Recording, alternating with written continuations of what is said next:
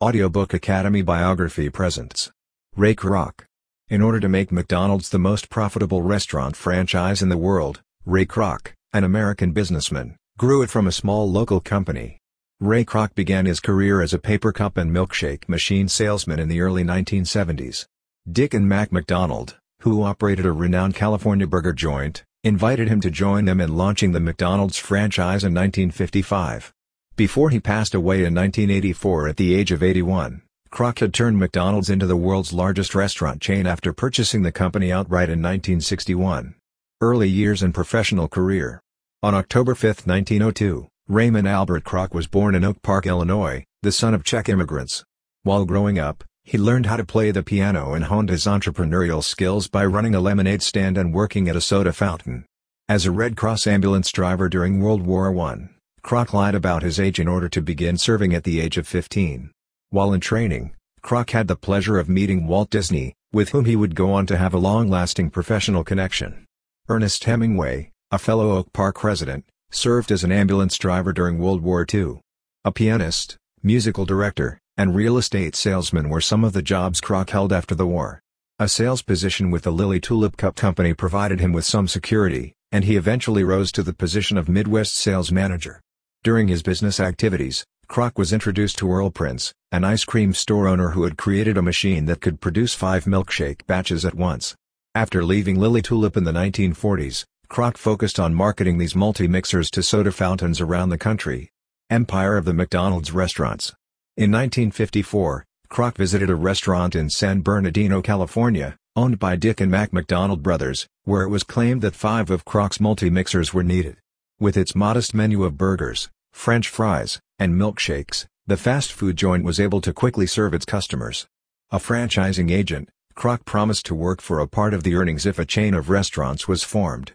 First McDonald's opened in Des Plaines in Illinois in 1955, and in the following year, he created the McDonald's System Incorporated, later McDonald's Corporation. Despite the fact that McDonald's had launched its 100th location in 1959, Kroc was still struggling to make a profit.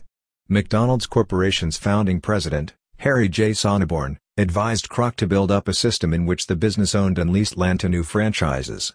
As a result of Sonneborn's efforts, Kroc was able to buy the McDonald Brothers business outright in 1961, for a total of $2.7 million. Some of McDonald's original identity was preserved while new components were introduced under Kroc's leadership of the company. With an eye toward streamlining operations across all of his restaurants, Kroc continued to use McDonald Brothers' 1940s assembly line method of preparing hamburgers. Franchise owners in Elk Grove, Illinois, who were selected for their desire and determination, attended Hamburger University, a training program. A certificate in hamburgerology with a minor in French fries was awarded to the students. With familiar foods and inexpensive pricing, Kroc targeted the suburbs as a way to expand his business. In spite of complaints about the nutritional value of McDonald's meals as well as about the company's treatment of its adolescent employees, the model developed by Kroc proved to be immensely profitable. McDonald's cuisine was uniform in appearance and taste thanks to Kroc's stringent restrictions on preparation, portion sizes, cooking methods, and packaging. The success of McDonald's on a global scale can be attributed to these developments.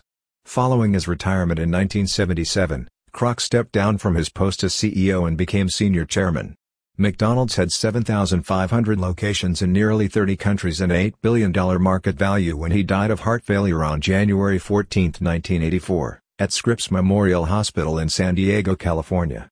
Family and other pursuits. Ethel Fleming served as Kroc's first wife from 1922 to 1961.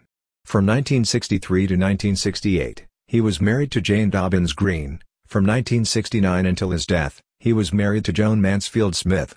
The San Diego Padres, a Major League Baseball franchise, were purchased by Kroc in 1974, along with McDonald's.